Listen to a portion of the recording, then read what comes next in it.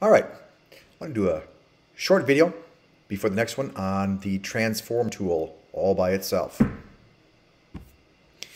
So first, let's get rid of this sphere. We'll click on it, scene, delete the selection. And then let's just go up to add a cube. All right, here's our cube. Rotate around. Now we're to go to the transform tool. Go to there or letter E on the keyboard. Now look at what shows up. Let's see what this thing does.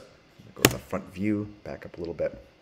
If I grab the right arrow and drag, you can see it's actually this time moving the object. It's not like moving the camera around. We're actually moving the object. It's sliding around. What if I grab the green? Moving the object up. Notice how it's getting sucked down beneath the floor level. All right, or falling beneath the floor.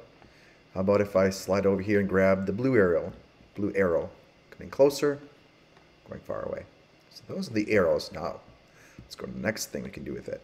Grab that box. At how I can make it narrow. And if I grab the green box, that.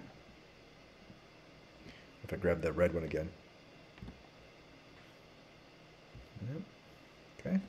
What if I grab the blue one?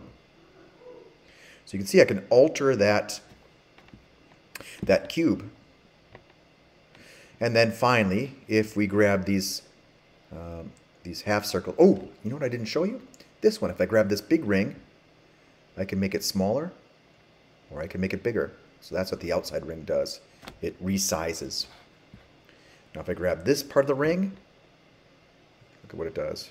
Rotates it that direction. If I grab the red ring, you can see how it rotates it in that direction. And if I grab the green ring, it twists it along that axis. So that is transform. Go ahead and practice that before you go on to the next video.